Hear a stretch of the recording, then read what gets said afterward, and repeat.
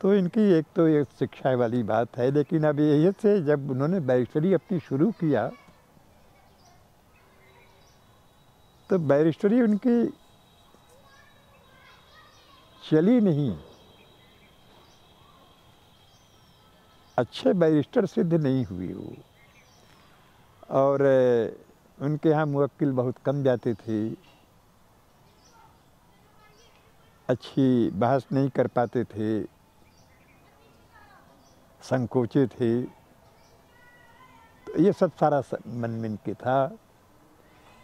कुल मिला करके पहले बम्बई भेजा गया। उनको पढ़ सब जमाने के लिए कि बम्बई हाई कोर्ट में ही सब जमाए जो है। लेकिन बम्बई हाई कोर्ट में जो है, जमा नहीं। तो ये लगा कि कुछ तो हो नहीं रहा है तो सारा खर्चा क्यों यहाँ उठाया जाए यहाँ का? फिर से राजकोट चला जाए। पहले राजकोट से ही राजकोट में नहीं चला तो बम्बई गए बम्बई से फिर राजकोट आए। लेकिन कुल मिला करके जो कुछ उन्होंने पढ़ा लिखा था वो सब ठीक है लेकिन इस वकालत जो चलती है कुछ लोगों की कुछ की नहीं चलती है उनकी नहीं चली। तो हुआ एक, एक सेठ अब्दुल्ला थी।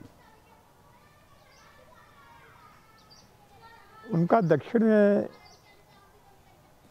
अफ्रीका में कुछ कारोबार था। और चालीस हज़ार, चालीस पाउंड का एक केस था कोर्ट में चल रहा।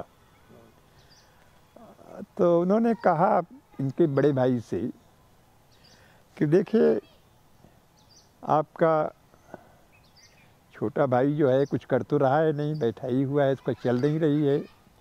आप यदि उसको वहाँ भेज दें तो वहाँ कुछ वकालत भी उसकी चलने लगेगी, कुछ सीखेगा भी, कुछ होगा, कुछ घूमेगा भी, कुछ असर पड़ेगा उस पर जो है।